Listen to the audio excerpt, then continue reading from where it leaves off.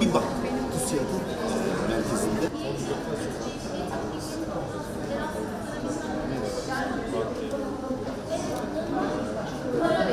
The CES project is a project that the World Food Programme has been implementing with the government of Turkey since last year.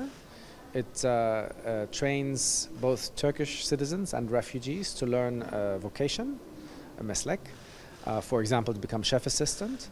Uh, first in the classroom, and then it uh, sets them up with a company for an internship. And the goal is that people uh, no longer need assistance, but that they can be self-reliant and earn their own income to feed their own families. And that's where it connects back to the World Food Programme. SES projesi WFP ve Türk hükümetinin bir yıldır uygulamada olduğu bir proje.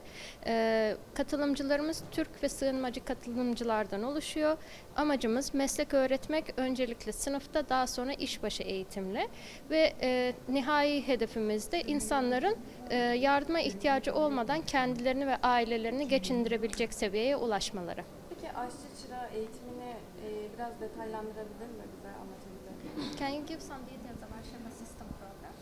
Well, it's actually not just chef assistant, it's many different professions. So we have baristas, we have food packaging, we have housekeeping in hotels, we have CNC operators. So we just started with the chef assistant because we, as the World Food Programme, are obviously very connected to food.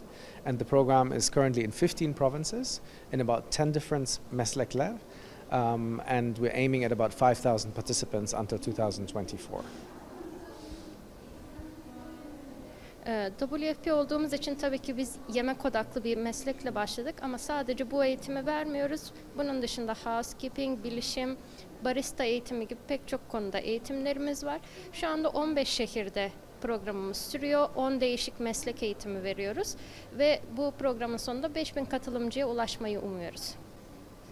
Eh, creo que de todos los oficios tenemos que ser herramientas de solidaridad en el mundo.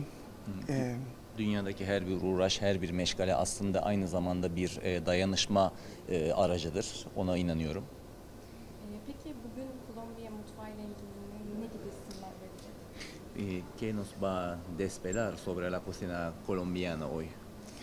bueno, voy a mostrar eh, la riqueza cultural que tenemos en nuestro país y eh, la historia que tenemos desde hace muchísimo tiempo en, nuestra, en nuestro territorio, que se parece un poco la, de, a la de Turquía porque está hecha con mucho amor.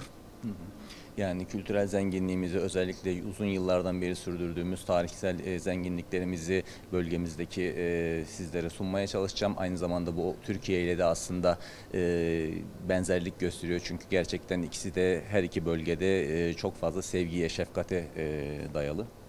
Ne gibi zenginlikleri var mesela? Biraz daha açabilir mi? Mutfakla ilgili biraz daha. ¿Qué tipo de riquezas culturales se refiere especialmente en relación con la culinaria, con la cocina? ¿no?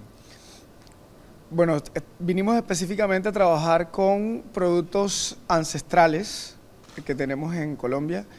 El maíz, eh, probablemente el más importante de todos ellos, que, que además le pertenece a toda América. Özellikle atalarımızdan kalan aslında malzemeler. Onları e, biraz göstermek için geldim ki bunların başında en önemlisi de mısırdır. E, bugün de mısırla ilgili biraz e, sunum yapmayı düşünüyorum.